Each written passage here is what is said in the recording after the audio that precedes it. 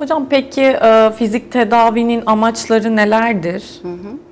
Şimdi e, bize en çok hastanın e, ağrısı olduğu için gelirler bize. Bir de günlük hayatında, günlük işlerde m, kısıtlık yaşadığı, yaşadığı için gelirler.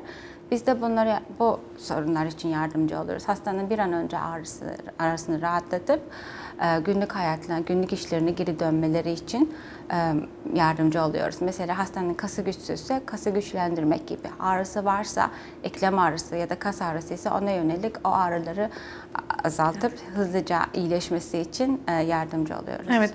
Hocam peki e, öncesinde e, herhangi bir bölüme vesaire muayene olmaları gerekiyor mu size gelmeden önce? Şimdi hastanın ilk şikayeti önemli. Mesela çok uzun zamandır beli ağrıyorsa, boynu ağrıyorsa, artık evde kendi başına baş edemiyorsa e, direkt fizik tedavi doktoruna gidebilir. Ha, ya da başka ekstra bir hastalığı varsa, mesela kronik bir hastalığı olan bir hasta, kalp rahatsızlığı var, sol koluna yayılan bir ağrısı var. O zaman tabii ki ilk önce acil olan kalp doktoruna gitmek. Evet.